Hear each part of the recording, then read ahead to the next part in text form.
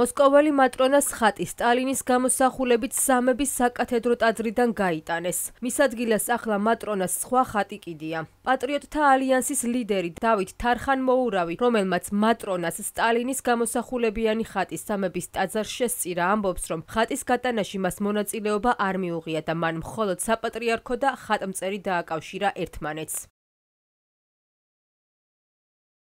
გასულ კვირას ხატთან დაკავშირებით ატეხილის სკანდალისა და ხატისთვის საღებავის შესხმის შემდეგ საპატრიარქომ განაცხადა, რომ ვინაიდან იოსებ სტალინის შეხვედრა წმინდა მატრონასთან არ დასტურდება და არ არის აღიარებული რუსეთის ეკლესიის მიერ, რომელმაც მატრონა წმინდანად შერაცხა, აუცილებელია ხატის ამ ფრაგმენტის შეცვლა და ხატწერის კანონიკის სხვა დეტალების გათვალისწინებაც.